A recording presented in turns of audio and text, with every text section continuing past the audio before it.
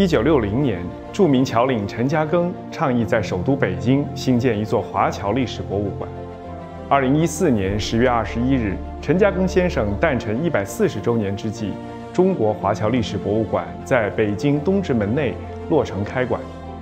大家好，我是中国华侨历史博物馆副馆长宁一，很高兴有机会带领大家领略华侨的历史与文化。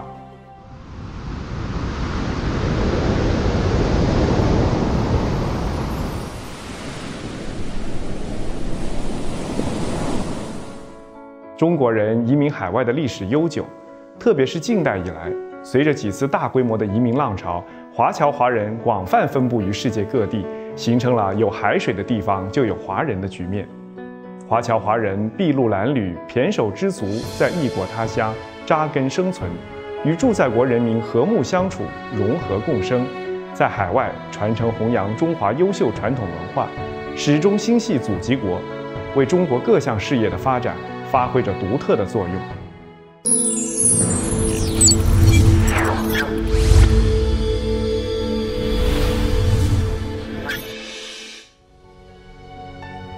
为满足生存发展的需要，海外侨胞建立起众多的社团组织。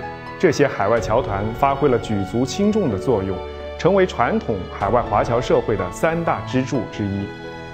这块写着“通中外乐成团体”的楹联牌匾。来自秘鲁中华通会总局。十九世纪中叶，第一批华侨来到秘鲁，从事繁重的体力劳动。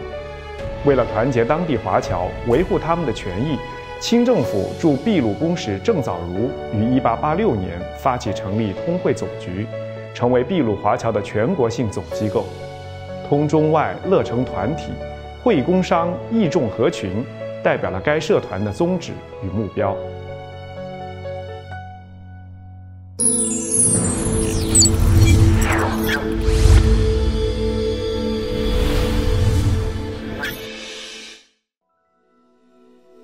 乔博收藏着一份现存极其稀有的古巴红门入会三十六誓词。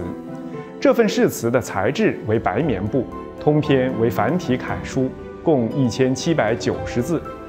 三十六誓词规定了鸿门组织的活动原则和成员的基本权利义务，类似于家法或邦规，是洪门组织的重要文献。海外洪门原为华侨社会中的秘密会社，进入近代后。在先进思想的影响下，他和其他华侨团体一道，积极投身推翻帝制的革命事业，在中国近代史上写下了浓墨重彩的一笔，留下了属于华侨的佳话篇章。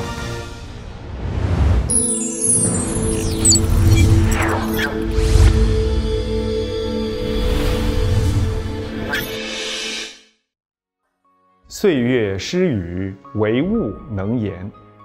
这是一枚木质印章，印面上镌刻着新洲机器行暨全新机工筹赈祖国难民委员会。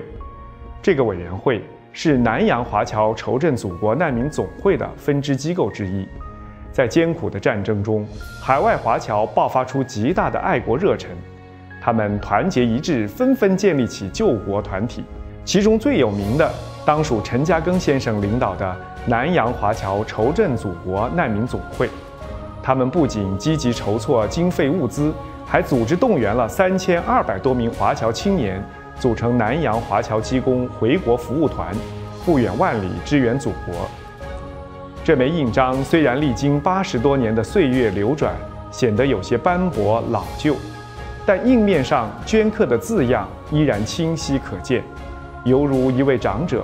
向世人娓娓述说着南洋华侨倾尽全力支援祖国的光辉历史和突出贡献。回顾过去，是为了更好面向未来。